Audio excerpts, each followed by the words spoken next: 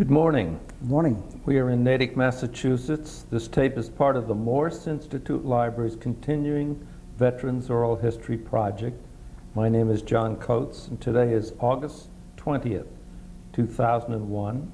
This morning we are pleased to have with us Henry Bengis. Is that correct? That's correct. Okay, very good. I wanted to get it, get it right. Can I ask you how old you are, Henry? I'm 80 years old. 80 years old, and your current address Natick, Mass. and marital status? Widower. Do you have children? I have a daughter. How about grandchildren? No, she's not married. All right, where were you born, Henry? New York City.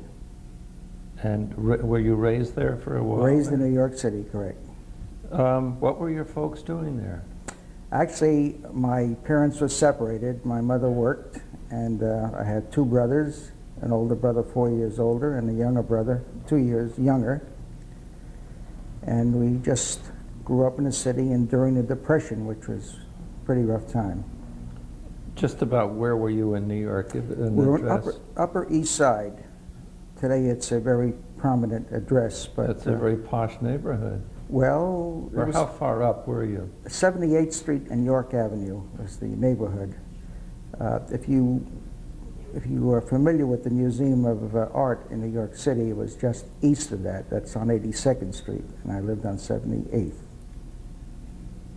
And you went to school in New York public schools? I went to public school um, in the, right across the street from where I lived, and I went to a junior high, which was about a half a mile away, and then high school later on, which was downtown on the west side.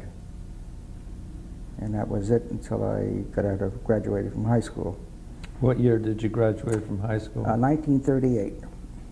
38. And, and what did your mother do to support you and two brothers? My mother, my mother worked for a cleaning service in an office building downtown. And did you get a job in New York uh, to, as you went through school? Yes, I had Some a, kind of work? I had an after-school job delivering a, um, a health food product um, that a nurse had developed. This was the early days of, of nutrition. That was my first job. Then later on, I worked for a, a uh, place that canned uh, food products, and the food product was deep sea green turtles. And I worked there. They're great. Well, now they're on the endangered uh, list, Yeah. but uh, Oh, you, and you know why. well, well, we were You you were were knocking them them, off one after another. But um, it was a job that uh, I worked at least 40 hours a week. And I say least that we didn't punch a card. I made a total of $12 a week with no overtime. So it was. Uh, New York City in 1938 must have been a pretty exciting place to uh, live in. There was a lot going on in the world, and were you aware of the fact of uh, a guy named Hitler and events in Europe? Yes, the uh, 1932 Olympics, uh, I was always a sports fan, and the 1932 Olympics in Berlin um, brought it to our attention in a more positive way. And we um, kind of followed it closely, but we weren't concerned about getting into the war because we weren't a, um, a threat to Hitler at that time. In 38, did, you and the guys that you were in high school with talk about uh, a possibility of maybe someday all of this is going to change? Uh, you were able literally to look out and see all that scrap iron being shipped over to the Orient, Japan. No, Any inkling of this in the No, future? n- not at all. We didn't. I wasn't that interested in the news and papers because we didn't have television in those days. We had radio. That's television with no pictures, um, and we um, were concerned with our daily lives. And we had um, our interest was really sports and getting a job, or getting a job in sports, in that order. And uh, but as far as that goes, no inkling of, uh, of any problems on the horizon for us. Well, as you've just mentioned, uh, people were not making much money in 1938. You held a job or during your school t- years. Mhm. What did you do after you got out of high school? I had uh, two cousins who worked for the War Department at an arsenal in New Jersey, at Picatinny Arsenal, and um, they sent me over for an interview, and of course they were hiring at that time, and I started to work there um, in 1940, uh, beginning of 1940. and we were, the arsenal was making uh, components for, uh, for cannon shells we didn't know exactly what the problem was, but they were in pretty round the clock, 24 7, as they say today, uh, production. And I ran a, a bank of three automatic screw machines, and that was it. I started out actually on a, um, on a um, deburring bench. We were finishing the, the products coming out of the machine. And I was promoted eventually to a machine watcher and a machine operator. Did you move to New Jersey? Uh, I lived in New Jersey. where yes. were you? Uh, I lived in the first in a town called Denville, Denville, New Jersey, and then I moved later on to Dover, New Jersey, which was closer to the uh, okay, so you were in northern New Jersey, northern New Jersey, right? up above uh, Montclair, Caldwell. west, west of there. It was a really um, the Picatinny Arsenal was adjacent to the um, Lake Denmark Naval Ammunition Depot. And that's where they did a lot of the uh, uh, explosives. But it was a naval installation. How long did you stay at this place? Three years. Three years, and you went there in 40, so um, you stayed there till 43? January 43, I reported to the U.S. Army Air Corps. Okay, somewhere in there uh, was Pearl Harbor, uh, the United States entering the war. Um, did you have a deferment because you were in munitions?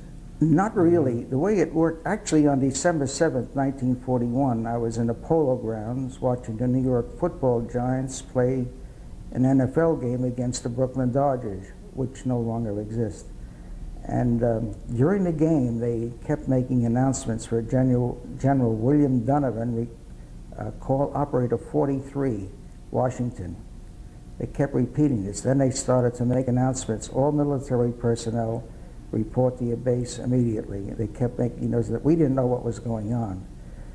We left the stadium after the game, and they published a paper in New York at the time called The Extra, which was published almost like instantly. And we came out and saw these huge headlines Japanese bomb Pearl Harbor. We didn't know what was going on, what we were going to do. We got back to our neighborhood, and some fellows said they're going to enlist, and they did the very next day. They didn't announce it at, a, at the game? They didn't announce the, um, the fact that the, the uh, Japs had bombed Pearl Harbor, but they just called for all military personnel. I just would have caused a, uh, a bit of disruption in the Yeah. stands, you know. Did you go home and sit with your family at that night, your mother and brothers? Well, before I got home, we, we got together, and some of the fellows I said decided that they were going to enlist the next day. This was a Sunday. Uh, I had to go back to New Jersey that night, so I talked to my mother about it. I said, I'm going back to New Jersey. And we got to the plant in the morning. I was on the day shift at that point. Um, the management asked us not to enlist right away because it would have created a, a vacuum of jobs. And they were, at that time, had already started to replace some of the people with young women. And they said, as soon as your job can be replaced, you're free to go. Although we, they couldn't have stopped us. But um, around June of 42, uh, General Jimmy Stewart made a little short that they showed in all the movie houses and about joining the Air Corps. And my arms started to tingle, I got goosebumps, and the flag started to wave, and, and that was it. I went down and I took the exam for the uh, Army Air Corps. Where did you go? Where? Uh, downtown in Manhattan, Whitehall Street, and I don't even know if it exists anymore since they restructured a lot of the uh, streets downtown. Um, I enlisted, and uh, they told me I could enter the service at that time as a private, and I would get $30 a month plus room, board, and uniform. Or I could stay out in my civilian job until there was openings for the um, aviation cadet program. And I was making then $150 a week, and to me that was a million. So I stayed out until they had room, and that's when I reported in January of 43.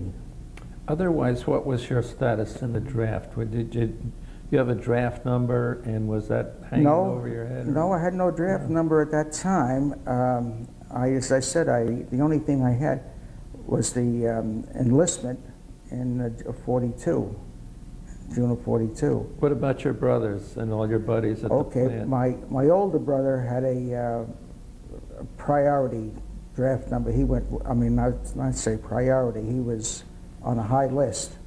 And my younger brother, I believe, was a little young at that time. Let's see, 40, yeah, he was a couple of years younger than me, so he, uh, his status was still school. And the guys at the plant or uh, guys you knew at, uh, at school? What were all your friends doing? A lot of them enlisted, many of them enlisted. We, um, at school, I lost contact with my high school people because it was a conglomeration of um, different areas of the city of New York. Some Brooklyn, Queens, Mm. Manhattan, Bronx, and so on. Um, so I had no real close friends at, um, at high school, What I did at work. And uh, later on, we'll get to a, a point where I will recognize one of my uh, co-workers at the plant. I had seen him later on in the service. Okay.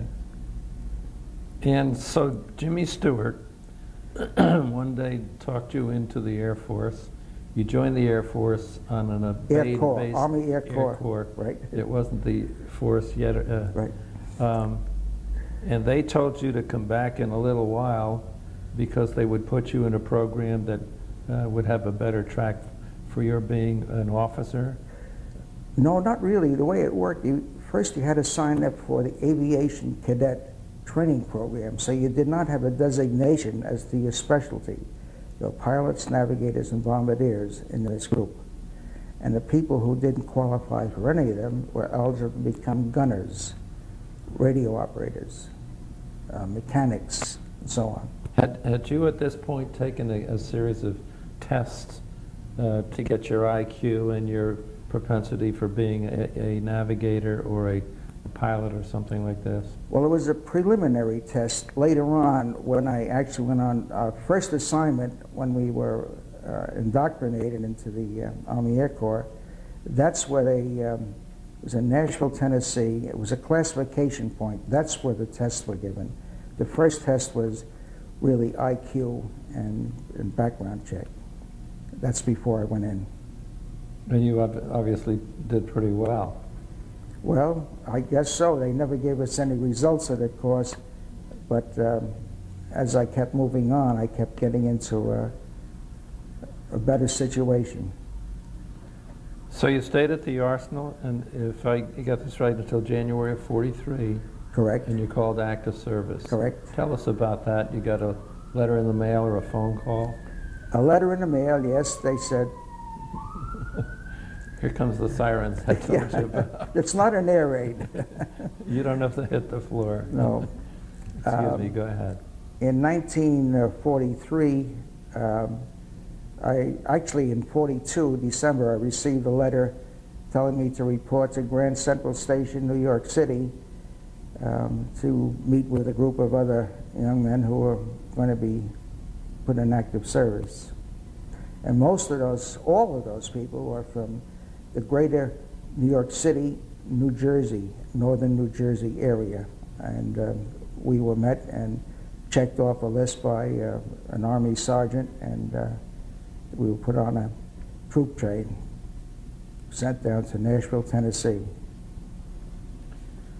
Had you ever been out of the greater New York area up to that time in your life?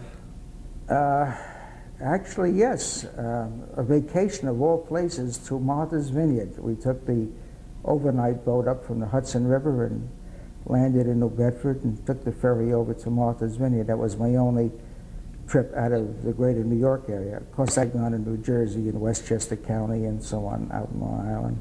And now you're in Tennessee.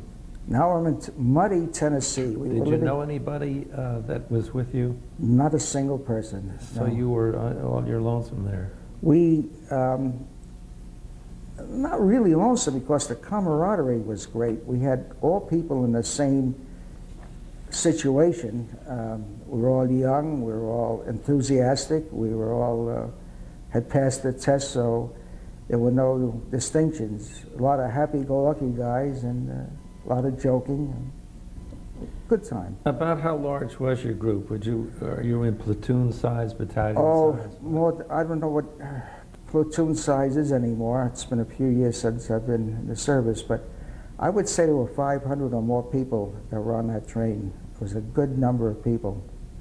And again, it shows you what the program had evolved to when they had a delay taking cadets in at that point. You know, we, uh, we were a new class. Tell us about getting off the train. What kind of place was there to receive you? Uh, it wasn't actually a station. They, uh, they took us off the plane in marshalling yards, and it was raining, and we had to walk over to a field. No, they put us in trucks first, and then we, they took us out to a field. It was muddy, and they had the uh, Army 8 by 8 tents or 8-man tents, whatever they were called, and we had to uh, get a bunk in the tent, and uh, then we had to report for uh, meal, breakfast, and meetings and tests, lunch, meetings and tests, dinner, free at night. And uh, but it rained almost all the while we were in uh, in Nashville. We didn't have uh, what they have today, the uh, country and western town that that Nashville is. What did you like about the place? Nashville. Yeah. What I liked about it was the fact that we were getting out in a few days if we if we passed our uh, our uh, classification test. And uh, fortunately, I was selected for pilot training uh, after taking the test.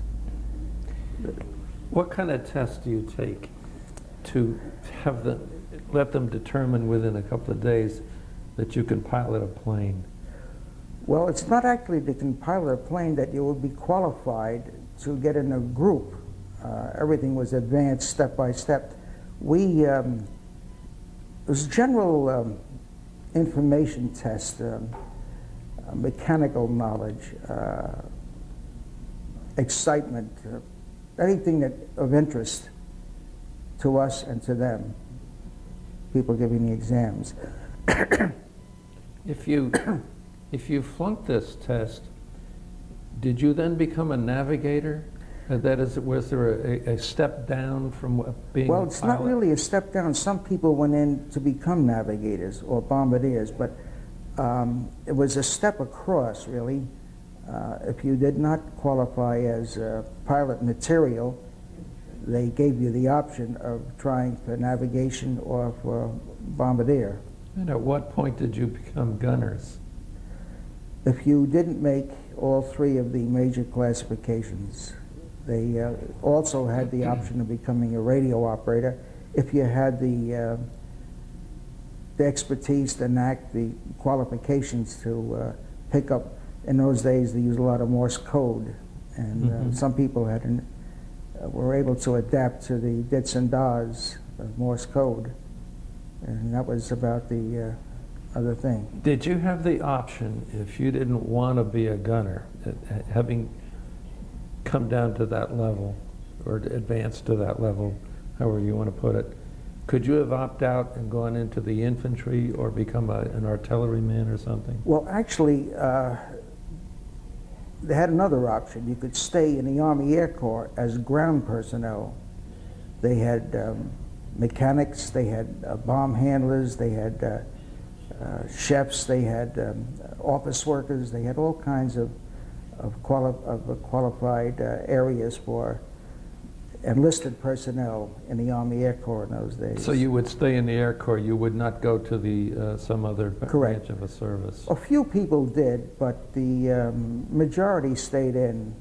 As a matter of fact, this uh, Wednesday, a couple of days from now, we're going down for a mini reunion on the Cape from people from the uh, mighty 8th Air Force. Uh, one of our people down there is um, a beautiful home, and uh, he was a, a ground personnel. I don't know what he did, but he was not flight personnel. And there'll be two people down at that reunion who were ground personnel in the Air Corps. Good for you. How long did you stay in uh, Nashville, Tennessee now? About four or five days. That's all. That's about yeah, five days, yeah. yeah. All they, they wanted us in, take the test, and then classified you and then move you on. Okay, and how many of you went to where you, pilot school or? No, we went down to um, pre-flight school at um, Montgomery, Alabama, Maxwell Field, and uh, we were there about six weeks. And the purpose there again was more tests, and a lot of a lot of um, importance was stressed on physical education. We had to get in shape. If we were, we're still young, but we were not in great physical uh, condition like the athletes today go through all kinds of training programs. Are you able to remember um, that of the 500 of you who went, that were on that train going Mhm. down, uh, how many of you became pilots? What proportion of that group? Of the 500, I would say, um, are you talking about completing the pilot training? I guess I'm saying, does, did the Air Corps, Air Force, Air Corps Right. at that time need pilots more than anything else and try really hard to get the most out of that group to I would- become pilots? I would say so, and I would say of that 500, probably 200, maybe 250 wound up in pilot training. Now, that's not to say that they were commissioned as, uh, got their wings as a, um, as a second lieutenant pilot. Uh, some of them washed out of pilot training and moved on to the other, other specialties. Um, also, they classified, at every station we went to, they had a um, questionnaire at the end of the training, and they said, what type of aircraft would you like to fly? And my dream was the B-17 Flying Fortress. And they gave you three choices, and my three choices were B-17, B-17, B-17. Some people listed different types of aircraft, and we found out later that those people weren't necessarily sent to a, um, eventually to a multi-engine uh, training school. They were uh, sent in as, um, as uh, co-pilots, or they was, they didn't get the aircraft of choice. Why did you pick a 17 over, say, a 24 or a 26 or a 25? Okay, um, multi-engines. The B-17 was the glamour bomber of, of the war, not necessarily the um, the most. Um, I can't put this in the correct words without defaming the B-24, which was a great aircraft, but it carried a greater bomb load and, and flew faster. It was also a more dangerous aircraft uh, because of the design, but. The 17 was the glamour plane, and it evolved from its beginning. Uh, radical changes, especially on the tail, the nose, the fin, and so on. So all those things. It was a, it was a glamour aircraft, and it had a reputation as a sturdy aircraft. This was uh, 43, so you didn't have a, a 29 in your future. No, 29. Okay. Uh, 29 evolved from a B-17, Okay. but there were no such aircraft as. And did I hear you correctly that if you didn't put down 17, uh, you were sent to lesser assignments than you would have hoped for? Well, they, after the um, pre-flight school, they assigned you to primary flying school. Everybody went to primary flying school. And we flew a Stearman PT-17, which is a biplane, open cockpit. And uh, again, at the end of that, they said, what are your three favorite aircraft? And uh, they didn't say anything at that point. The next stop was basic flying, and it was a heavier, closed cockpit, two-seater, a pilot and the instructor. And it was a, um, a little more, I'd say, dangerous to fly, a little more tricky to fly. Um, and again, at the end of that training, they asked for your choices. Now, at that point, they separated the pilots into two groups, single engine and multi-engine. Uh, the single engine uh, flyers were going to be Fighter fighter, pilots, pilots, yeah. right? The multi-engine could be a light bomber, a heavy bomber, medium bomber, attack bomber, all those different aircrafts. Or transport?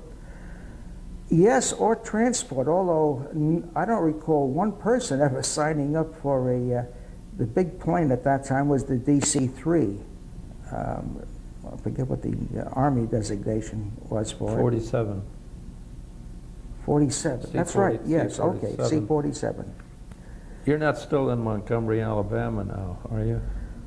Well, you take it you- from there. You've progressed from one level to Okay. another. Have you moved to other fields? Uh, The next station after Montgomery was Bennettsville, South Carolina, my primary flying school, and that was a um, civilian air school, flight school, that was supervised by the Army. So all our instructors were civilian instructors.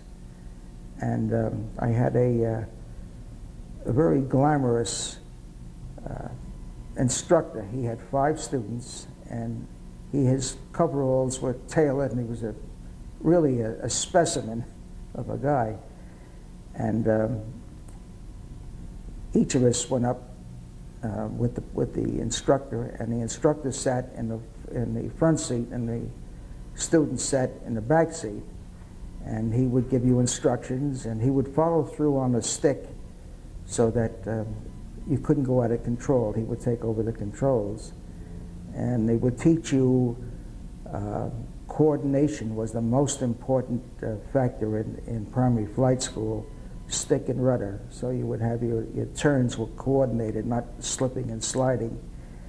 And uh, my shins were bloody after some of those uh, flights because the instructor, if you weren't coordinating stick and rudder, he would take his knuckles and beat on the shins of my legs, stick and rudder. He, we had no um, uh, no radio contact. We had a, a tube that they would call back to you, so that you eventually got stick and rudder.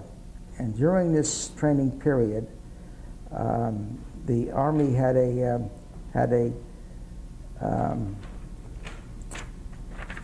check pilots, they call them. And my check pilot was a man from Boston, Massachusetts. His name was Joe Deneen. They called him Joe Deneen and his washing machine. That meant that if you didn't do well, you were washed out. Oh dear.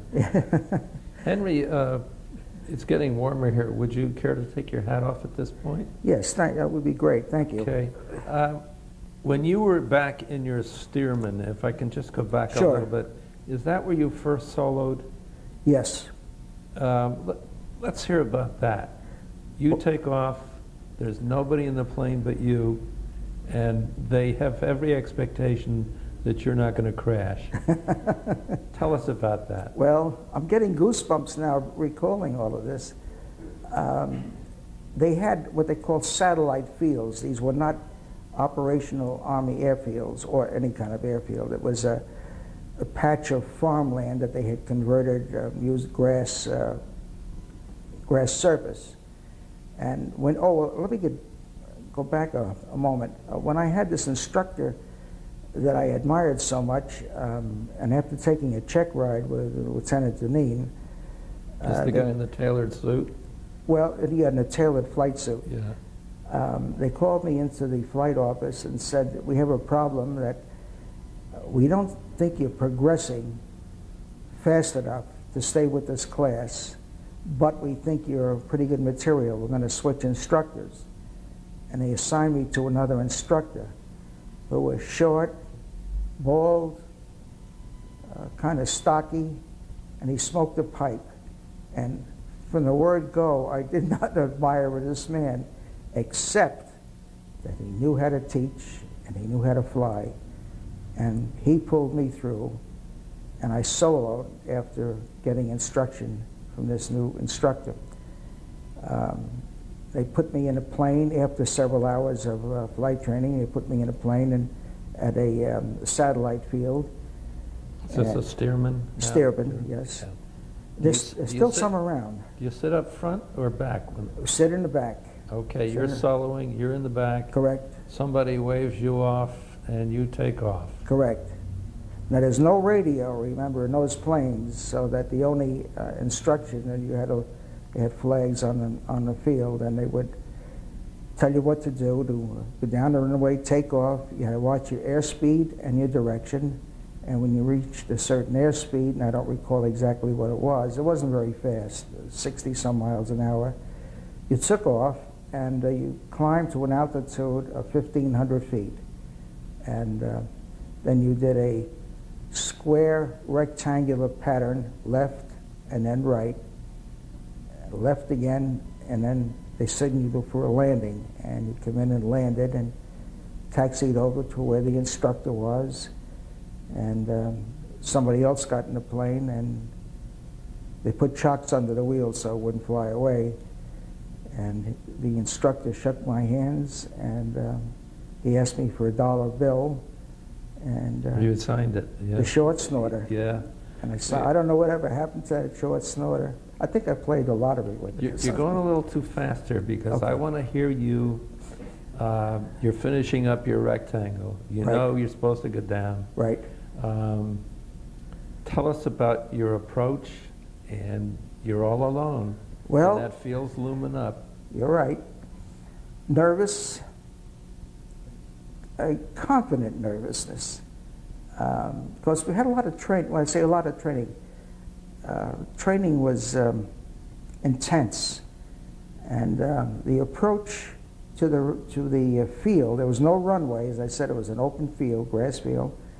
So you couldn't make a mistake on, on where to go on direction just the general. They had a windsock there to give you um, some a little bit of help for um, wind direction and, and speed.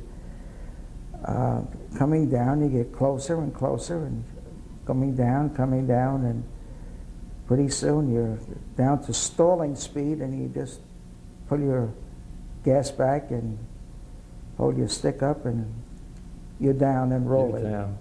It was a great, great feeling, Yeah. tremendous feeling. Did you write home to mother, that kind of thing? Really? I Uh, mean, you no, I. I wrote her, yeah. Uh, the, the telephone service then wasn't what it is today, and uh, neither was the money. um, I wrote her and told her that I had soloed, and uh, it was a great thrill. Other guys were with you. Other guys didn't do as well, and they washed out. hmm They they landed, or they never got to solo. What happened to them? I would say, again, I can't uh, trace them, but I would say that they uh, were put into a pool for uh, gunners training, uh, radio or uh, engineering. On the 17 eventually they had what they called a flight engineer, and he was the most mechanically inclined of all the uh, personnel on, on the plane. He didn't have a set of wrenches that he wore on his hip like the repairmen do today. But um, anyway, that's what happened to most of those Had he people. been a washed-out pilot? Yeah. Well, the, the chances are that they checked them for navigation or bombardier training, since they had uh, passed their test or been evaluated for uh, officers candidate. So they had those options too. At what point do you become a flight officer or a second lieutenant? That, that you're home, you finally did it. Well, I mentioned primary flight school, that's where I soloed. The next step was Yeah. basic single engine, and then advanced was a twin engine school at Albany, Georgia, But at, at what time do you beca- get your wings? after you get through your final uh, uh, uh, flight school, advanced, it's called advanced flying school, and that was uh, I was in class of 43J. I think that's the beginning of November. Um, we graduated, and uh, they closed the officers' club for that night for all the newly commissioned uh, pilots, second lieutenants, and we had a party. So we were the only ones there, outside of a bartender and uh, invited guests. Uh, my closest friend, I still am in contact with him. Uh, he was from New Jersey, and his father was a, a Signal Corps major, and his father and mother were there, and his date was there, and I was sitting with a bunch of single guys. We were solo, and uh,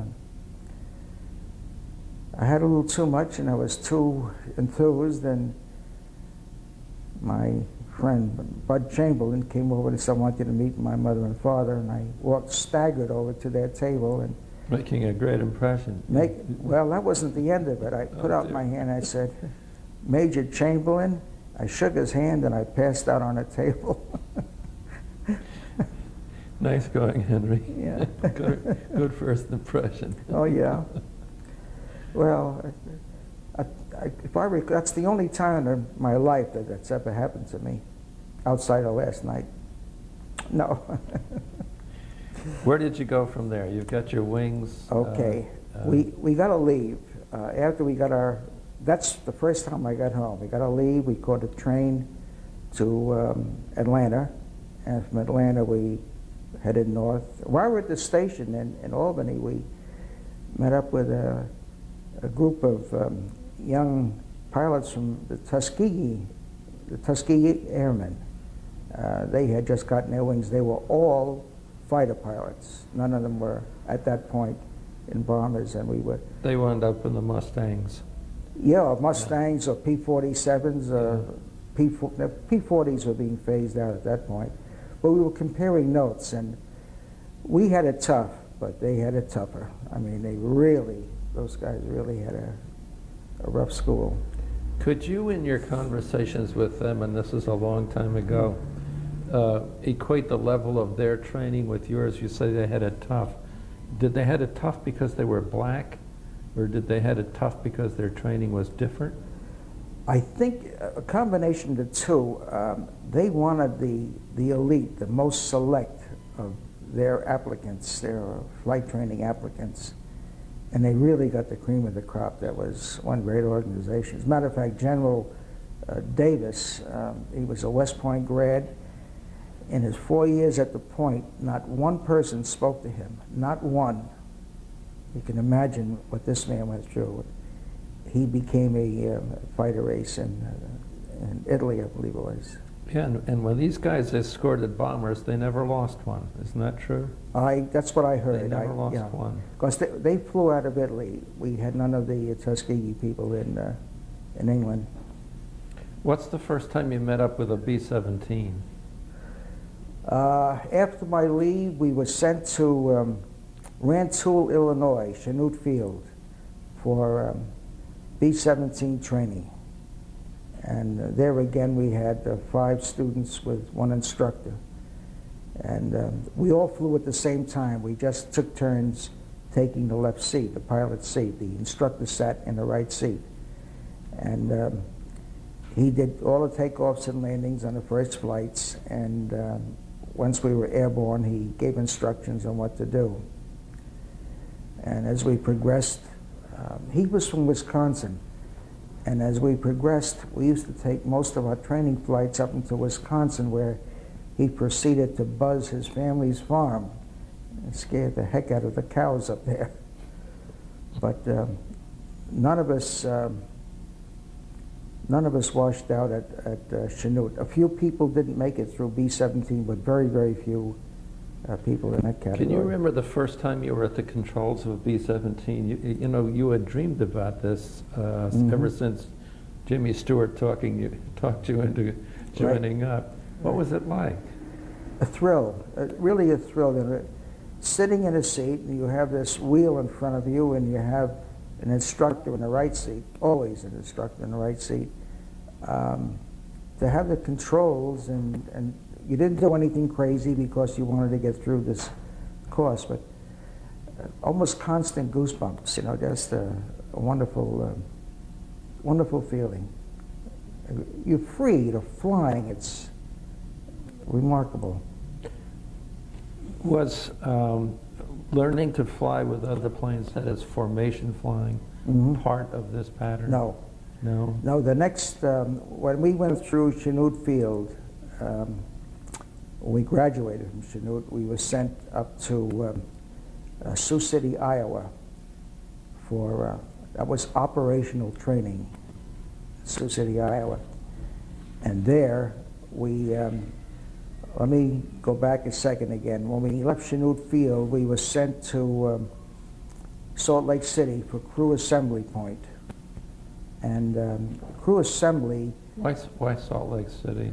I, I don't know, the Army couldn't put everything in one, or the Air Corps couldn't put everything in one place, so they selected different areas for different um, phases of training, like um, Nashville, Tennessee for one, and Maxwell Field for another. Um, but uh, Salt Lake City had a, was a big city, a good location, and they had the space. And um, they assembled all of the crews that had completed their, their training. Now, my crew was assembled. Matter of fact, while there, I ran into, uh, excuse me, I ran into a, um, a fellow I had gone through training with who had gotten pneumonia while he was in flight training, and he was held back one class. When he finally got through, he got through in the midst, in the middle of a class. So they sent him out to a co-pilot's pool in Salt Lake City, and I knew this fellow from going all through training with him. His name was uh, Joe Beatty, and um, we had met at a meeting or some function out there, and um, we decided we team up. He wanted to be with me, and I wanted to be with him since we knew each other. So the whole crew was assembled, assembled there except for a uh, navigator. Navigators hadn't completed their, their training. Then they sent us to, Sol- to uh, Sioux City, Iowa. Something I, I haven't picked up as we've been going along here. What distinguished sitting in the right seat or the left seat? How did you become a co-pilot rather than a pilot? Well, I went through all the uh, up, all through the indoctrination of B-17s at Chanute Field. So, at that point, I was considered first pilot at Chanute Field. When we got to Sioux City, they said they had a pool for for co-pilots, and that's mostly people who had been delayed in their training. They were still qualified as pilots, but they hadn't gone through operational training and um, hadn't gone through B-17 school uh, to become a first pilot. At Salt Lake City, did you have any, was there any way for you to pick other members of your crew? Or did they say, these are, your- these are your gunners? They, These- they assigned everybody except we had applied before they made the final assignments. Uh, as I said, I had met Joe Beatty, and I approached the um, committee who was putting together the crews, just told them that we knew each other, we were both qualified pilots, and we wanted to serve together. And they said, fine, because he was going to be somewhere, and he may, be, Mhm. may as well be with someone that he knew. And how long were you in Salt Lake? That shouldn't have taken long. No, no. I would say about four days, four or five days at the most. Did you have a plane, or uh, how did you get out there? train. They put us on a train and they sent us to Sioux City, Iowa. And that's where we picked up our operational training. And um, we got there, we were briefed, and they assigned us to a plane for training. And again, we hadn't received our, our navigator at this point. So they took us out by truck to our plane on the uh, hard stand, and uh, this is the plane you'll be flying today. And we did a pre-flight check on the plane, outside and inside, and I was in the pilot's seat, and Joe was in the co-pilot seat, and um, his Jeep pulled up, and there was a young second lieutenant who was freshly out of navigation school, still wearing his dress uniform, the officer's pinks, and there's a couple of duffel bags in the Jeep, and he told the driver to take the uh, his bags to the BOQ, and I said, Houston? He said, yes. I said, let's go, we're late. He didn't know how to get into the plane because the nose hatch had already been closed, and he was on the pilot side, the left side of the plane. He didn't see the side door of the, of the body, and he didn't know how to get in the plane, so he stepped on the wheel, and he was going to go up into the wheel itself, and everybody on the crew broke up. They just laughed. But eventually they directed him down, he came on. And just a little PS aside, He stayed in the Air Force and retired as a Major General. He was 19 years old when he joined my crew, Major General. He was determined to find out how to get to a B-17. His major accomplishment, yes. No, Maybe he thought bright, it was a bright guy. B-24. Pardon? Maybe he thought it was a B-24. Well, no, I think there you went through the bomb bays. They had a, a switch that opened the bomb bays, and you had to duck under the bomb bays and climb in. You got a full crew now. You, Ten men, okay. Did, I'll jump ahead. sure. Did this crew stay with you? Was this a bunch of guys that you went like through the war together? No. No. No, um, eventually we joined the 379th Bomb Group in the 8th Air Force. And somewhere along the training, not training, in our uh, experiences, they broke up several crews, and mine was among them. And then I was assigned to fly at various positions. I was assigned to fly in a um, PFF plane, which was an advanced plane to pick up targets and. um uh, it was an unusual thing. And I also was assigned to fly as co-pilot on a lead plane or deputy lead plane. Uh, the planes leading the 8th Air Force always had a, uh, a general, mostly a general, sometimes a colonel who led the parade as many as a thousand planes. Just but my crew was broken up, so Okay. they had different assignments.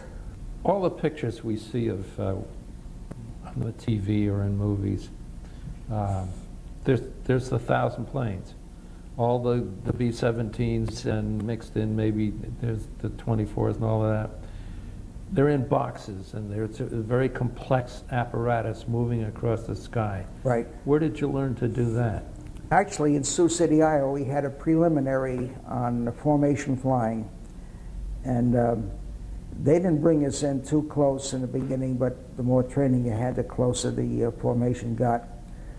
When we arrived at Kimbolton, um, 379th Bomb Group, we had a commanding officer, and they, he was a colonel at that time, Colonel Maurice Preston, who was a West Pointer. Uh, this was one tough guy who was one expert, and he demanded that the formations we flew were very, very tight over the target area from the initial point when you made your bomb run. When you were on your um, on your way to a target, you could fly loosely because um, it took a lot of concentration, strength, and sweat to bring your formation in tight. And um, the records, the official records of the uh, Air Force today show that the 379th Bomb Group led in all categories of operation, bombs on target, closeness, closeness of bomb uh, groups, uh, least aborts, uh, every factor of, of uh, bombing, the 379th led due to Colonel Preston's uh, demand. And he flew a, a training plane. That had a circular, looked like a barber pole, and that was the assembly plan, uh, plane uh, for missions and the, the observation plane on training missions while we were still over England. And he demanded and got uh, close formation flying. And truthfully, today, I felt safer flying in combat in those close formations than I do on the highways and roads driving a car in this country. Well, We knew what we were doing, and there's a lot of people out here who are on a phone and don't know what they're doing. We seem to have skipped Yeah, ahead. You're, yeah. you're in England, Right. and you're, you're bombing Germans now. Uh, So let's do that. You, did you fly, fly overseas uh, and uh, meet up with a, a, uh, the organization you were going to be with? Well, What, what, what have we skipped in the States here and in training? We really didn't skip anything. Uh, the uh, the operational training in Sioux City, Iowa, was uh, was just that. We were learning how to fly B-17s on navigation and in, in formation. That was the and practice, practice, practice. That's what uh, that was all about. One thing I'd, I'd like to know about Sure. toggle bombing.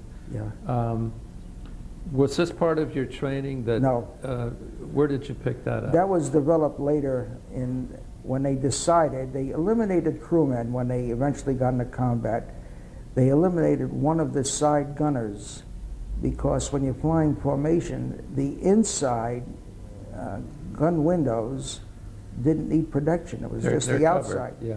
because you were covered from all, all uh, factors or areas. They did No, not need, that- That's important. When, when did that happen? When did, was that, that decision made? well, they, they learned a lot by, uh, from experience. Uh, General LeMay, who was, I guess, the pilot who dropped the bomb and Curtis LeMay. Curtis LeMay, uh, they learned by uh, trial and error. They used to do evasive action, and the bombs were going all over the place, and planes were getting shot down, and they made a decision, come hell or high water, when we get on that initial point and make the bomb ro- run, that lead plane, everybody is on that lead plane. So that the same thing happened with um, you talked about or asked about uh, toggle bombing. Well, they eliminated um, several positions. One of them was either a navigator or a bombardier. They called them bombardators. So if you were a, a navigator and you were going to toggle bombs, you didn't have to to use your Norden bomb sight to get you in. The lead planes, deputy planes of every group, and in some cases squadrons, had both a bombardier and a navigator. But the rest of them were toggleiers, and sometimes they would just have a gunner up in their nose, and, and he toggled the, uh, the bombs out. So how many guys did this get off the plane? Uh, A gunner and possibly a bombardier? Two, two people were uh, eventually eliminated from um, necessary flight personnel, again, except for lead planes. Okay, uh, did you fly overseas in a B-17? Yes, uh, from Sioux City, Iowa, we were sent to Kearney, Nebraska. Uh, the Boeing Aircraft Company um, shipped brand new B 17s to Kearney. And while we were at Kearney, we were there for two days. We had to, what they call, turn the compass. They had compass markings on the uh, concrete, and you had to coordinate your actual compass, lock it into the positions there. And um, it was a matter then of waiting to get our turn. And from Kearney, Nebraska, we flew to Manchester, New Hampshire, to uh, Grenier Field, and we stayed overnight at Grenier Field. And from there, we flew to Gander, Newfoundland, and we stayed overnight in Gander, Newfoundland. And um, while we were at Gander, there's another pilot that I went all through training with, a fellow named Pete Fisher from um, Baltimore. He had a he had a navigator who was uh, I don't know how he ever got through navigation school. But anyway, we left left Gander, New, Newfoundland, and Uh, Back us a sec. Sure. How do you, how did you find Gander? That's uh, radio. radio? Oh, That position. is, that is no place. There's no No, the- markings around it. Right. You're out in the water, over Yeah. the water. uh, the navigator had a responsibility there too because we flew daylight, and um, between navigation and radio, we were able to, no, with no trouble, find Gander. And there were lots of planes at Gander waiting to fly across the ocean. To your knowledge, did anybody not make the hop from the States to Europe, but i- i- aside from the ones that fell down on Greenland? Uh, Not that I know of. You, you, you all made it across, and so you looked over at the navigator and you felt a little confidence in him. Yes, in a way, but they kind of scared us a little because at, the, at Gander they told us we were going to land in Prestwick, Scotland. But they warned us that there were two fields, one at Prestwick and one right next to Prestwick, and they told us not to land at the one that wasn't at Prestwick. So we were a little concerned, but we identified Prestwick and put our plane down and got our belongings, and they took the plane away from us. And That's a pretty foggy place. Uh, did you pray for good weather, thinking, you know, I'd not like to crash on my first attempt? Well, when we left, um, we left Gander at night, and a B-17 cruised at about 165, 170 miles an hour. Uh, it's a long hop, but everybody was doing it, and we didn't feel badly about it. Um, we left in, at night, we landed in daylight. So that was the, the whole reason for this. Anybody else with you? Could you look at and see other planes? No, No. again, it was at night, but the plane that took off, my crew number, they assigned you a crew number in, in the States, was 3323. And 3322 was Pete Fisher's plane, and this idiot navigator that he had popped his parachute, was fooling with his parachute, and just came out of the sack. And Fisher called Gander Tower to advise them. They couldn't hear him. There was something wrong with the communication. So I was relaying the the messages, and the, the question was, should he come back and get a new chute? And they said, no, he's not going to need it, flying over the water. So uh, we had a great laugh when we all got together and get at uh, Prestwick. Were you flying over any, were there destroyers or Navy ships stationed along your line of flight? I have no idea. Oh, you mean, did they brief us on this? Yeah. Uh, they had ships out there. They told us there would be ships out there, but we couldn't see anything. We were flying, we were not on oxygen um, uh, elevation. We were about 10,000 feet, and you don't need oxygen around 10. What's the break-even point for oxygen? I believe it's, 10,000 feet? I think it's over 10,000, 12,000 Yeah. definitely. But um, we didn't need it, and because you felt more comfortable. You don't have that mask over your face and the perspiration uh, and saliva and so on. Okay, you and your crew are in Scotland. Right. Uh, what, what's the date? Oh boy. it was uh, Should be, around the around the mid to end of May of 43. 43? Oh, 44, I beg your Yeah. pardon, 44. What happened to you then? Well, they, as I said, they took our planes away for modification and they put us on a train and took us down to a small town just north of London. And at that point, again, we were living in tents, in eight-man tents. And there we were getting um, combat information, ground school. Our instructors were all people from the various uh, phases of flight um, pilots, navigators, bombardiers, gunners, radio people, were all instructed as to the procedure in England, uh, how to get around, what not to do. And um, as I said, our instructors were had already finished their missions. They completed their missions, were on their way home. The morning, 4 o'clock in the morning, June 6, 1944, we were awakened by uh, a heavy, heavy drone of low-flying aircraft, and we didn't know what it was. And we all got out of our tents and looked up, and we could see these low-flying aircraft with uh, black and white stripes on the underside of the wings. And that was done for identification, so That What- day only, yeah. yet it would not attract attract friendly fire, people who were getting frightened, which happened many times during the war. And we reported, we reported for breakfast, and in our first um, instruction uh, was a, uh, a major, a pilot, who was training us, and he told us that the invasion was on, and that was the drone that we heard um, during the night. So several several of us asked him for um, for a ride. He said he had a B-17, and um, he was going to go over and see what was going on. We asked him for a ride. Excuse me.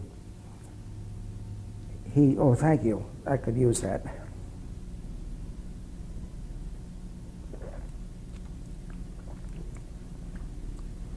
He said, see me after lunch. We had lunch and we went to his class in the afternoon. He said, unless you're wearing an eagle on your, on your shoulder or above, in other words, a colonel or higher, nobody's going up. He was going to be a pilot taking observers over there because there were still bombing raids going on. They were doing two a days. Um, at that point, um, that was actually our last day of, um, of training. they shipped us, assigned us at that point to different bomb groups, and I was assigned to the 379th Bomb Group at Kimbolton, small village. this is the one that you described a moment ago that emerged from the war with such a wonderful record. Absolutely. In every class. Absolutely. Okay. Uh, How did they pick you guys? Just by alphabet or something? I, I don't know how they picked us, but they were just your last- filling, they were Yeah. just filling spaces from people completing their missions or people who were shot down, uh, planes wrecked and so on. Um, By that time, how many missions uh, were required of you? At that point, it was uh, 25, 25 missions and And you people were completed. recycling already? Yes. Guys had done 25? So you're filling their slots? Okay, now this is June 6th, uh, 1944. Um, I'm going to be meeting a man on the Cape. Um, he was retired colonel. He completed his missions in um, October of 43, so he was an early bird Hmm. over there. Um, that was, those are my heroes. All these sports stars and celebrity, they're not my heroes. The early, early guys in World War II are my, my heroes because they had nothing, they had no protection, they had, They didn't have fire, fighter coverage at that time. that was the big point. They Yeah. did not have fighter coverage. They didn't have procedures down that were evolved from, um, from bad experiences. Um, I forgot where we left off when you asked the question. I'm sorry, I No, no. interrupted you. No, You were just told that you can't fly over D-Day because you weren't a colonel. well, that was that was for an observation flight. But that afternoon, we were sent up to Kimbolton. We were assigned to a bomb group. All the people who were with our group were assigned to various bomb groups. This place you keep mentioning is Camp Bolton? Kim Bolton, K-I-M-B-O-L-T-O-N, Kim Okay. Bolton. Somewhere around uh, the wash or, No, it, it was west of the Wash. I'm surprised you know about the Wash, because there must Howie, Howie Balcom lives in Natick. oh, there must be 10,000 bombs In the wash. in the Wash. Right. We're going to That get was- them that out was- someday. Um, there was um, a bunch of us assigned I said, to this village. I don't know if you're familiar with the small town, about the size of Framingham, a town called uh, Bedford, Bedford, England. Bedford was the home of the Glenn Miller Band, the uh, Billy Conn, the old heavyweight uh, Boxer, yeah. boxer. He had a fight troupe there. I'm getting goosebumps thinking about it now. And they also had the 8th Air Force All-Star team. And one day, just to diverse for a second, I went down to the, we, our bomb group had a baseball field, and one day I walked down, they said there was a game on, so I walked down to the game, and uh, our local team, our base team, was playing the 8th Air Force All-Stars, which were comprised of um, minor league players for the most part, a couple of major leaguers, and they gave out programs, and I looked at this one name, it was a fellow I had grown up with. He went through the war playing baseball. That was his expertise. And he didn't know I was at the base, and I kept razzing him and, and heckling him, and he kept looking around. And well, after the game, we got together, and he told me where he was based. So I used to go down to Bedford and listen to the Glenn Miller Band on all my stay downs. Really? oh, goosebumps again. Yes. Fantastic. Yeah. Okay, let's get into the war. Um, Tell us about your first mission. Uh, first mission was D plus three, June the 9th. And um, it was a short mission to one of the um, flying bomb sites in, in France. And flying bomb sites were the V-1s. This was a, um, they called them putt-putts. It was a bomb that had no directional devices on it. They just knew how far it would go and they would shoot them off ramps, and they would were targeting mostly London. They couldn't steer them, they couldn't navigate them, but just, uh, I guess, to upset the population. And from then on, the first uh, five or six missions were marshalling yards and flying bomb sites. Tell us about when you came down and debriefing. After the first meeting? Yeah, uh, no, on, on any mission, sitting Oh. in the tent and they ask, what did you hit, or what do you think you hit? Is that correct? Well, yes, well, they, that was up to the bombardier, actually. With- The pilots had no, no control over this. We were flying formation, and at that point, the planes were all bo- uh, dropping bombs on a on the uh, bombardier's uh, bombsight call. The bombardier actually flew the plane with the Norden bombsight. You, it was like a um, automatic uh, drive today, you know, where we had no control over the plane once that was locked in. As the pilot, you just sat there for two, three minutes or whatever it was? Right, And he took over the plane right. and dropped the bombs when Right. he felt it was the moment. You resumed then command of the plane? They released, yeah, once, once the bombs were dropped, the um, bombsight went off and the pilot, uh, they did um, an evasive action type of move because the, um, the Germans were shooting. They knew your altitude and direction and they just hoped they could hit you with their 88s. Um, you did a right turn or a left turn depending on what the, uh, what the lead plane did and you changed your altitude at the same time. You either dive down a couple of thousand feet and, and change direction. How many guys were, how many planes were in, in your formation when you were We had- after targets like this? We had eight, 18 in our, in our group. Um, six plane, three six plane formations, um, four six plane, um, I don't recall exactly. Uh, Three sixteen, three six plane, it was 12 planes. And then they had a spare group of, um, of six that were attached to us. Um, outside of the um, outside of the um,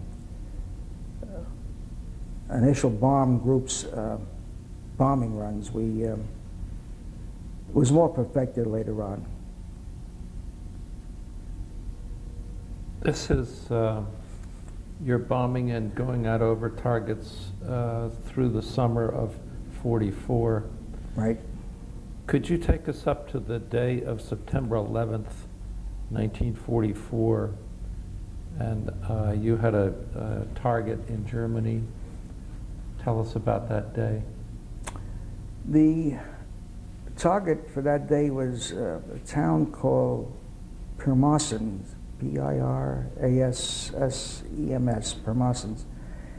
And um, it was a um, airplane parts manufacturing uh, plant. Um, I think I got the name of that town wrong. Anyway, that, uh, the target was in um, eastern part of Germany, and we um, were bombing a um, aircraft uh, parts manufacturing plant. In your experience at this time, was this a long run for you to make? The, the runs kept getting further and further away. Correct. Uh, how- About how long does it take you to get to the target, But the flights lasted about eight hours. this particular one? Uh, well, we never made it back from that one. But to get to the target, I would say close to four hours. So it would be roughly an eight-hour round trip. Correct. And you bombed the target We bombed the target. and turned around, We made our turn with the group, and we And- were heading home. And what, what happened then? Well, the the um, the uh, flight direction wasn't the same both ways for uh, in and out uh, to get away from. They they had an idea where the uh, gun batteries were, so they took different routes to keep you out of harm's way. Uh, however, our plane was hit with um, 88 fire, and it knocked out one engine right away. We had a feathering engine. A second engine was, was damaged, so we were losing power with that. And as you lose power, you lose speed, and they don't wait for anybody. We became a straggler. And um, not only did we lose speed, we were losing altitude. We uh, threw everything overboard that had any weight, including the ball turret. They had wrenches to let the ball turret go out. And we were flying Just the belly turret? Um, yes, it's under the, the midsection of the plane, just behind the bomb bay. Um, so we threw everything out of any weight, and uh, I was flying co-pilot in the deputy lead plane, and the pilot said, "Let's see if we can make it for uh, to the coast." We had he had thoughts of getting into the North Sea English Channel area. However, at the briefing that morning, the um, briefing officer said the Allies have captured Brussels and um, don't land there because we don't know if the airport is is uh, cleared for landing. We took that to mean uh, um, landmines.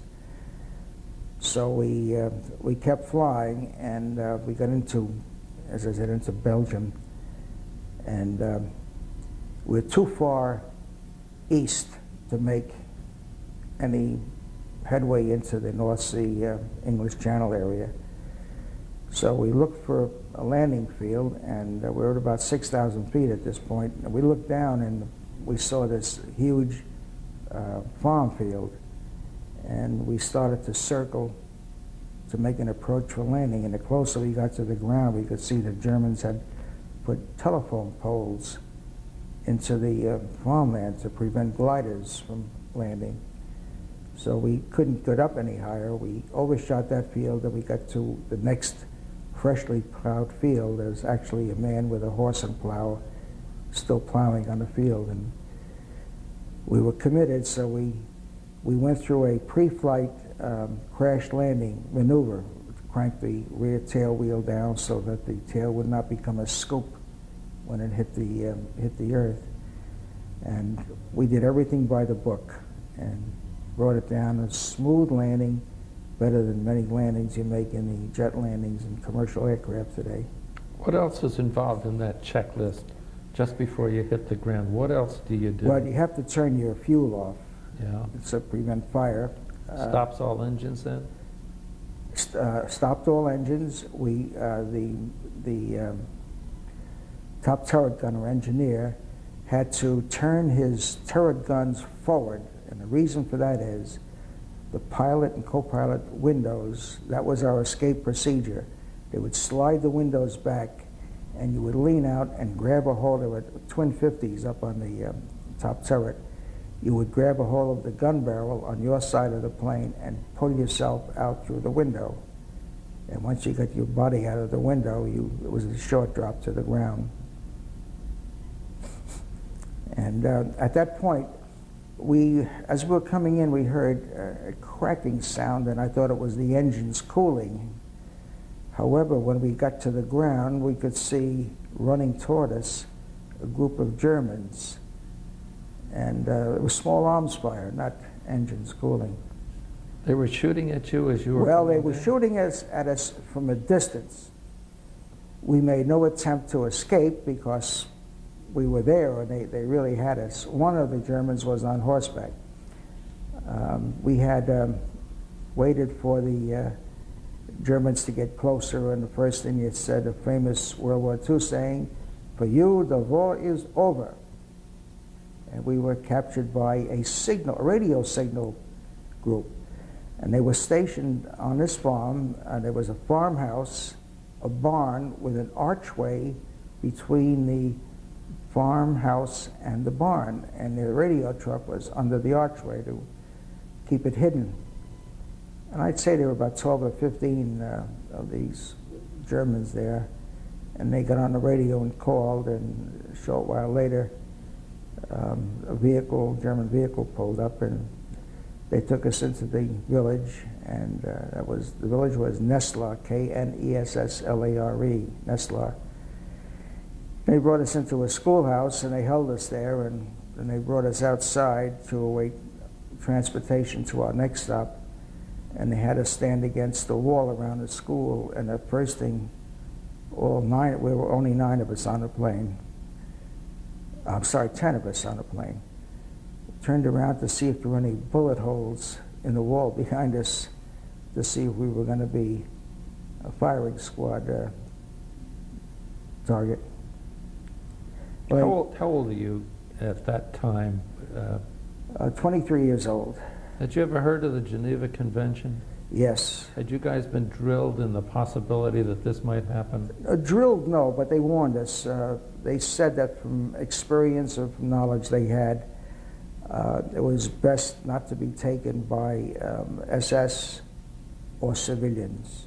Those were the, uh, the two big problems. The best scenario would have been um, the Luftwaffe. They respected Hmm. Air Force. The second best would be um, uh, the Wehrmacht, which is what got us the uh, radio group. Did they treat you, um, I'm not going to use the word fairly, but um, they simply captured you No, and I would you say- over to somebody else? I would Yeah. say fairly because while we were at the farm, they gave us apples. Yeah. And um, until the next group uh, took us over, and they eventually took us up to um, another larger town. I don't know what the name of the town was, and uh, from there we were seated on a on a grass lawn, and a um, German colonel came down, and he was one of the elite, uh, like a West Pointer would be here, with a wide red stripe down his trousers, and. Um, he said, um, he spoke in English. He said, is there anybody here from California? And one fellow raised his hand and he said, I have a sister who lives in California. And then we heard the drone of an aircraft uh, very high up, a single engine plane. He said, oh, here comes your mailman. And they were dropping leaflets and they came fluttering down. The whole countryside was covered with leaflets. But eventually they took us at night, they took us over to um, the um, Scheldt estuary to one of the little uh, ports they had there. And we were in a, in a covered truck. The tarpaulin covered the entire back of the truck. But we could smell burning. We could smell, there were dead horses and dead soldiers all over the place. They took us down to um, the dock and put us on a gunboat. And as I said, there were 10 of us. They took us, uh, eventually, it was pitch black. Boat left the dock, and we looked for a place to sit down, and a few fellows were sitting on parts of the bulkhead. And in German, an officer started to holler at us, Raus, up, up. He wouldn't let us sit down because on the deck were wounded uh, Germans with legs blown off, arms blown off, badly wounded people. Well, we were challenged in mid in mid river, and uh, another German gunboat. So we were identified, and they took us over to a, a town called Vlissingen, which in English means Flushing, and it was in actually in Holland. It was the end of the railroad line at that point, and uh, they brought us into the railroad station and now they gave us uh, four other people, two Russians who were fighting with, uh, I'm not Russian, Polish, who were fighting with uh, an English group, and two Canadians. So there now were 14 of us, and we're in a railroad station, and one of our guys who spoke some German said that we were hungry. We hadn't eaten since 4 o'clock in the morning, previous uh, morning. So he sent one of his men out, and they came back with a loaf of Kriegsbrot. Krieg means war in German, and Brot is bread. And we always said that Kriegsbrot was 50% sawdust and 50% flour. And uh, they brought a can of, um, of um, cold cuts, but it was packed in a, in a large can, like the large uh, tomato cans that we have here in the markets today. So we had to cut the bread. One of the Germans cut the bread, and we were digging out pieces of this. It was bloodwurst, which is sold in, in some of the better markets around today. And we just waited until they were loading a troop train and were evacuating German soldiers. But we were the first ones to go down to the train. And they stopped at a car and they told us to get in the train, in the car, boxcar. And it was a mound of hay. I went into the car, so we were so tired, we all flopped in the hay, and the Germans started to holler at us. They wanted part of the hay. So we had to give them part of the hay, and we were very tired, and we're sitting and lying in the hay, and then we could hear the marching. They were marching troops up to get in the rest of the boxcars. And about an hour later, the train started up, and uh, it moved moved along. And by daybreak, the train suddenly stopped, and the German sergeant, there were five guards, the sergeant sent one of his men up to uh, see what the problem was, and he came back and then they told us uh, in English, they spoke a little English, that the RAF had bombed out the track so the train couldn't proceed. So we had to get out, and they hitched us a ride on a, on a truck that was burning wood for fuel. Strangest thing we ever saw. And the truck took us down a few kilometers, and we got to um, uh, a road, and he had to turn, so we had to get off the truck, and we were walking along the road with the five guards and uh, 14 of us, and we passed a group of four or five houses, and women, women and children came out, and one of the women asked the German sergeant, and he shook his head yes, and the girls went in the house and came out with their, holding their aprons up, and they were filled with tomatoes and apples. So they gave us tomatoes and apples. And uh, then she looked at the German sergeant, and the woman shook her head, so they gave some to the Germans too. And they marched us down a road. We came to a crossroad, and it was would be our version of a roadside tavern. So they marked, took us in the back of the backyard of the tavern, and they had us sit on the ground. And the sergeant went into the tavern, and he came out. waved us all into the tavern, and we were sitting there. Honest to God, they bought us beer. The German guards bought us beer. And one guard sat down, he was playing a piano, and they were asking us all sorts of questions about cowboy movies in Hollywood. It was the strangest. You would never think there was a war on. You, the war is over. yeah, almost. but there was a little interruption. Well, they eventually got us to a gathering point of um, captured uh, allies. And um, they brought us to uh, a town, it's called Hertogenbosch, but there's an S in front of it. In Dutch, I don't know how you pronounce it, Hertogenbosch.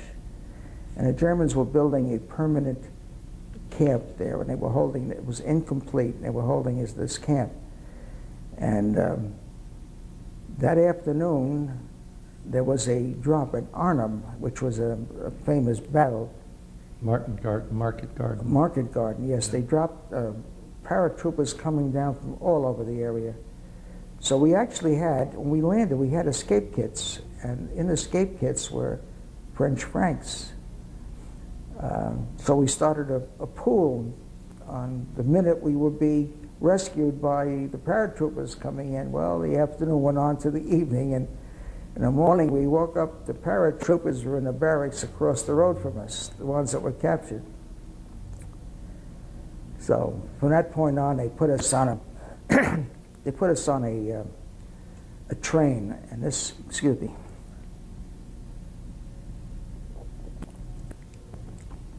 The um, train had all airmen, captured airmen. And we had um, uh, a European train was uh, compartment after compartment on one side and across the aisle on the other. The compartments were open, and we were told to sit. We, I was at the end of one car, and they had a young 15 to 16 year old pimple faced German soldier wearing a Schmeisser, which is a machine pistol, around his neck. And the German sergeant was in charge of the, uh, of the whole train.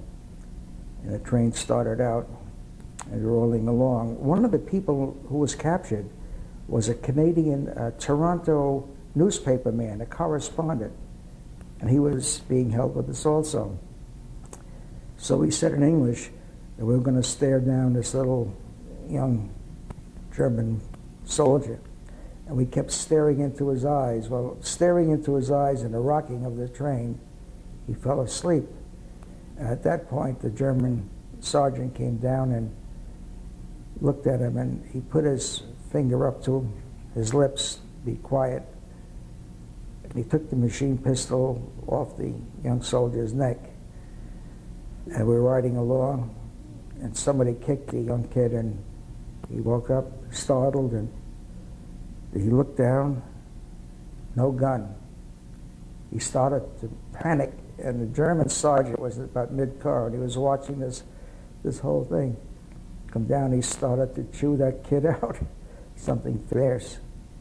Well, the plane, the train eventually got to a town, went through a town called Wetzlar, where they make the lenses for the German uh, cameras. And we had to stop for water or fuel or something. And the, train was elevated above the street. And while we were there, the, somebody had told the population that these were airmen being taken into uh, one of the stalags. And the German women were shaking their fists at us, calling us gangsters because of the propaganda that the uh, Goebbels and his crew had done. He did a good job in, in uh, making, they call them us terrorfliegers, terrorfliegers.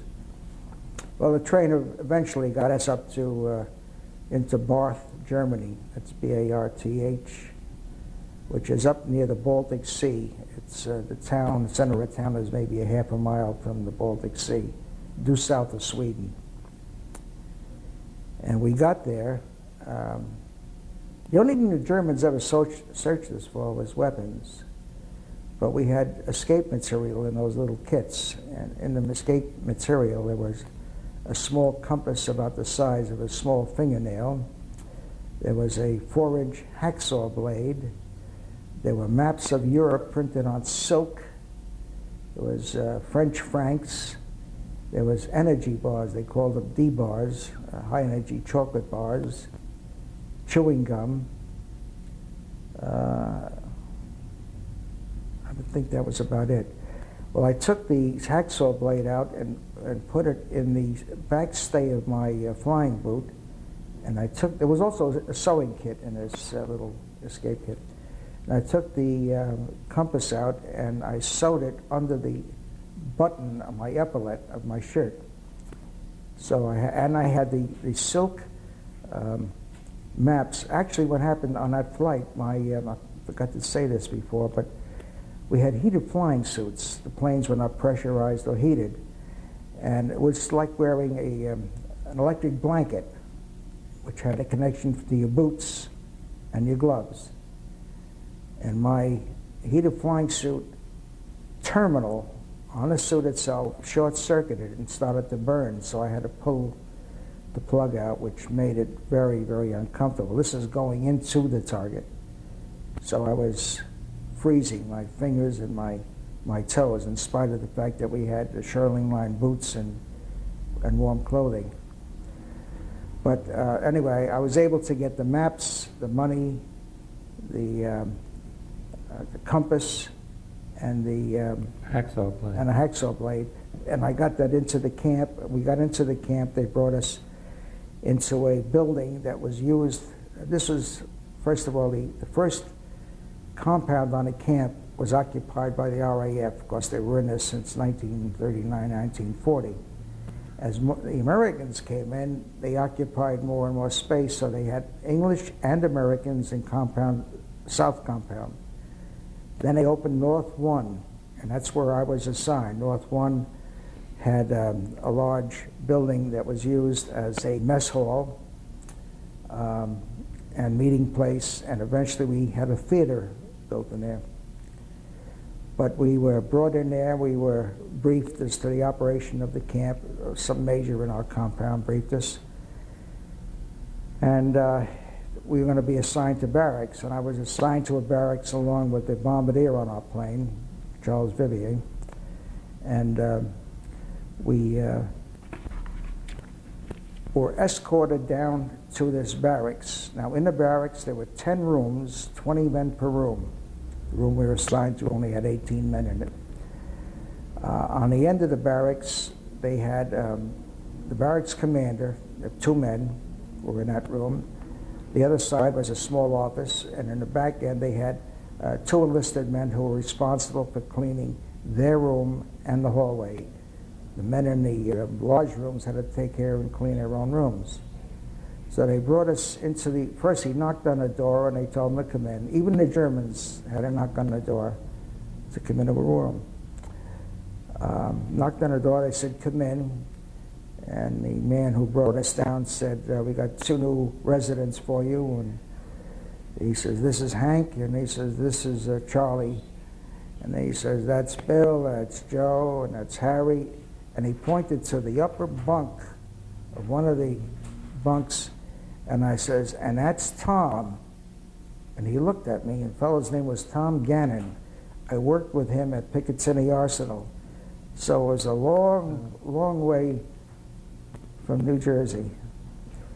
Henry, I'm going to ask you something that uh, I don't want to miss because we're getting close to the uh, time here. Yeah. What about escape? Uh, Most of the things that um, you read about or hear about in in prison camps uh, talk about you are obliged to think, you have an escape committee. Right. Did you guys form one? No, I was in a camp. I didn't get there till September 12th, I guess, was of, uh, of 44. Now, that camp had been in operation a long time, so they already had all these committees set. Now, I donated all the escape material that I had while I was at that briefing at the, at the mess hall area. So uh, it was used somehow. If you ever saw the movie The Great Escape, Yeah. uh, Roger. Remember Roger? He was the lead. He was um, X, Big X, they called him, the escape professional. He had escaped from four camps, including the one I was at. And they, they murdered him eventually, with, along with 49 others. Uh, so they had escapes, they had attempts, they had tunnels built because part of the exercise in the camp was walking, and you walked around and, and you see the, the heads bobbing up and down from the uh, where the tunnels were collapsed, and uh, that was part of the escape routine. I'm sure you, you went through privation and, you know, you're, you're, you're in jail in, in a sense. But did you feel that the Germans did about the best they could uh, under the circumstances? Yes. They gave you, if they, if they had the food, you got it kind of thing? Yes. Well, actually, we got a, a fruit parcel. It was 11 pounds, uh, 11 pound carton that was filled with. It was packed by the Red Cross, packed by the Army. Red Cross distributed, and the foods in there it didn't need cooking. The only thing you needed was water to dilute the uh, powdered whole milk. That was Mhm. called Klim, which is milk spelled backwards, and it. After a while, it was pretty darn good. Tasted good. Sure, we had the usual stuff. You know, we had uh, uh, corned beef, canned corned beef. We had canned spam. We had uh, tuna fish. We had salmon, uh, chocolate, uh, raisins or prunes, uh, cigarettes of all things, five or six pack, five or seven packs, depending on what was in your particular carton. And it was a, it was a well planned uh, thing, but eventually the um, the British and Canadians had cut off the northern German area, which cut off their ports, so that the um, uh, foodstuffs coming in, the Red Cross parcels coming in from Sweden, were delayed, and that was a rough time in camp. We had nothing except what the Germans uh, gave us, which wasn't very much. You couldn't store food. The Germans, when they distributed the packages, they punctured every can so that it could not be held for a long time. We eventually, uh, somebody had discovered if you put a little bit of uh, melted margarine, which was also in those uh, packages, it could seal the can, but it wouldn't, it wouldn't be a vacuum seal to preserve for a long period. How did you tell your family that you were alive and well? Uh, the Germans permitted four postcards and three letters. And the letters were a single sheet of paper that were, was folded over so that you could get an address on And the the. postcard's 20 lines on, were 20 Right. words, yeah. Right. And Uh, did- did, your, was your family able to let you know that they had received the Oh, yeah. The most important, qua- uh, um, most important uh, item in the camp, believe it or not, was cigars. The cigarettes came in the Red Cross cartons. The cigarettes were our, our um, mode of, um, of uh, monetary. A cigarette was a point, and eight point got you a onion, an onion. Two cigarettes got you an egg, and so on. They had Currency, yeah. we, we had, it was an established uh, trading group, uh, traders for each block, along with guards. They, they had everything. They bought cameras, they bought, um, we didn't have a, we had our own clandestine radio, which was gathered from long before I got there. But uh, there was a lot of trading going on, and when I heard that cigars were the most important item, I wrote my mother and I said, don't ask questions. Get 50 cigars, a box of 50 cigars, and send them to you. Well, it takes about three or four months to get them, but when my cigars came, I was king. And, uh, You had a lot of spending money then. uh, Yeah. well, Can you tell us, um, I guess I'm talking about casualties in the camp, that you, you couldn't know it at the time, and they couldn't tell you this till after the war, but you had a 97% chance of surviving that camp, in, in statistically. mhm. Uh, Did guys die in the camp, or if so, Well, there were, there were fellows repatriated from, uh, from the camp. I guess some guys went around the bend, as they say, just uh, couldn't take it anymore. It was not a bad situation. Of all the camps, all the Luft camps that were, uh, we had the, the Cadillac of the camps because I, I read these stories and heard these reports and watched the videos of these camps that were evacuated. run a march for two or three months. Didn't know where their food was going to come from, where their clothing. People were dying and frost and so on. So our camp was uh, an established, the best camp of them all, really. If you were a Russian captured by the Germans, you had a 15% chance of survival. So th- th- you were at the opposite end of the uh, Right. Pole, and thank God. We had Russian uh, workers in the camp that used to come in and do some of the um, building and they were expanding the camp, so they did all of the manual work. Tell us about, uh, I, I think I, I've read about your exploits there, that uh, you guys got a lot of influx from the Battle of the Bulge. They brought in American prisoners. Mhm. How you received these men into your camp. Well, this was around Christmas time. Uh, we were due to get a Christmas parcel in lieu of our regular parcel. And instead of having spam and corned beef and all that stuff, they had canned turkey, they had uh, cranberry sauce, they had uh, fancy candy bars, they had uh, canned cherries, and all the goodies that you have around Christmas time. So after they told us this, about two or three days, days later, they said there's a group of prisoners coming in who were at the Battle of the Bulge, and um, we're going to have to cut back on your Christmas parcels. So we formed combines, five men for four parcels, so that the newcomers would be able to get their share of it. And um, we had wild senses of humor. The, the YMC had, uh, over the years, had this um, distributed um, art supplies, um, boards, um, watercolor paints, charcoal, and so on. They, they gave us uh, uh, costumes to put on plays and so on. And the wild minds got together as they knew that these uh, Battle of the Bulge guys were coming in. They made travel posters up. All men wishing to call home for Christmas, Barracks 3. All, all men wishing to go on a ski trip, Barracks 12. All, all men wishing to go uh, ice skating, you know, Barracks 4, and so on. And uh, all these posters were hung on the on the fence where the on by the road where these poor souls were coming in, and the rest of the guys standing at the fence were up there with their lit cigars, puffing on his cigars, and saying, "What's new at home?"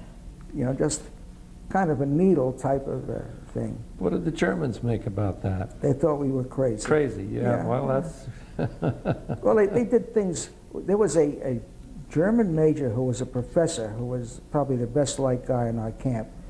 He would come down with another officer who was doing a survey or something in the barracks, and he would by courtesy, come into the barracks commander and um, then have his guy go down to whatever rooms he was looking at. And one of the uh, barracks commanders would offer the German major a cigarette, which he gladly accepted, and the three of them would light up, and the Americans would take one puff, drop the cigarette on the floor, crush it with their foot, foot only to annoy, in a way, the German major because he's, what a waste. We have nothing in there grinding out cigarettes after a puff. But, Were, uh, were you in the camp until the end of the war? yes. With what result to your health and well-being? What were the results? To your health To my health, yeah. well, my, the major problem, two major problems really. Um, as I told you when I um, was on the last mission, I lost my heated flying suit, so my fingertips and my toes were in bad shape. Uh, they took away my flying boots, which were shearling line boots, and my underboot, which was the heated boot, and they gave me uh, very, very cheap, unlined uh, leather shoes to wear that wore no great shakes. And I had to stand in all formation. This is over the winter period now. So my feet were in terrible shape. But during the period where the Allies had cut off the, um, the supplies coming in from Sweden, my weight, which was around 175 at that point, went down to about 100 to 110. I, we had no scales, but we were skin, skin and bones. In the camp, we had one doctor who was captured at Dunkirk. Uh, Dun- Dunkirk. Dunkirk. Was that 39? Around 39, I believe. I guess it must have been. So he was there for Six years.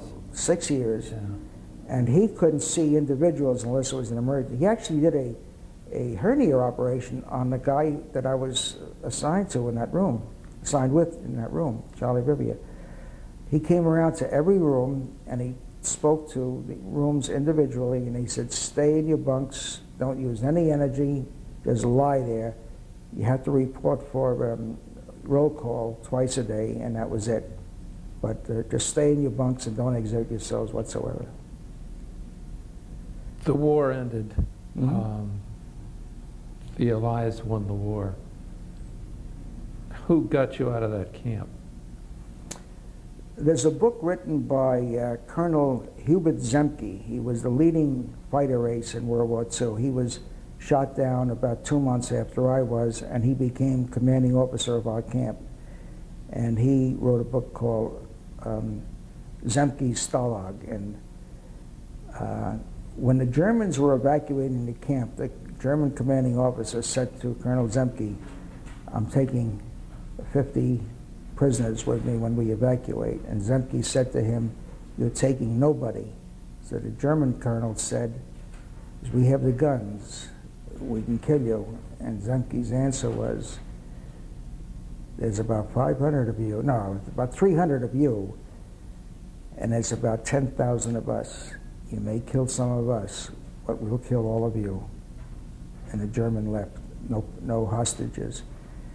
Uh, so they now had to keep us in the camp, and we had. Um, they told us that the German, the Russians who were advancing, had no knowledge of Americans or didn't speak Russian and so on. So to stay in the camp for safety's sake, well, not all the fellows obeyed that. And a friend of mine, in fact, the guy who was the pilot, first pilot of the plane I was on, left with a few other guys, and they left the camp and they were heading west toward the uh, Allied lines. Well, we stayed in the camp, and uh, Zemke was negotiating with the uh, German, with the uh, Russian general who was up in, in charge of that northern region uh, on procedures and so on. And they didn't always agree, but they negotiated and so on. And um, they eventually, through radio, were able to contact the uh, 8th Air Force in England.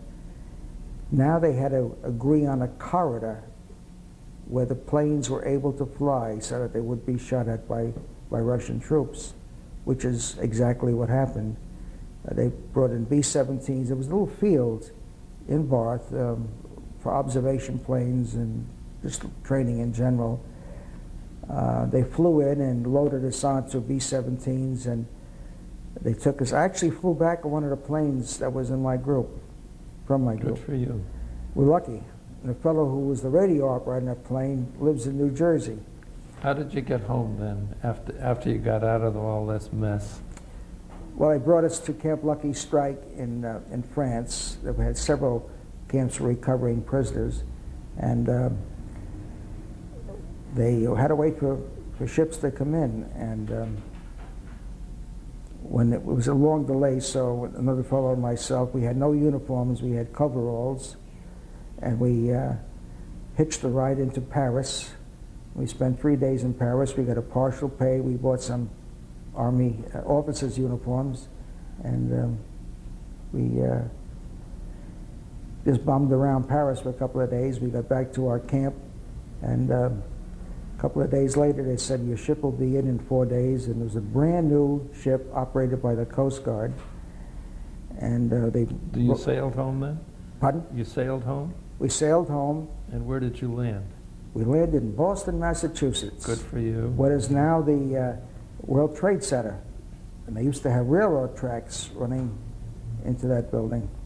The chief bosun's mate on, on that boat, on that ship, was, um, oh God, my memory, a famous Hollywood actor, uh, a leading man, bronze skin and handsome. and Mickey Rooney.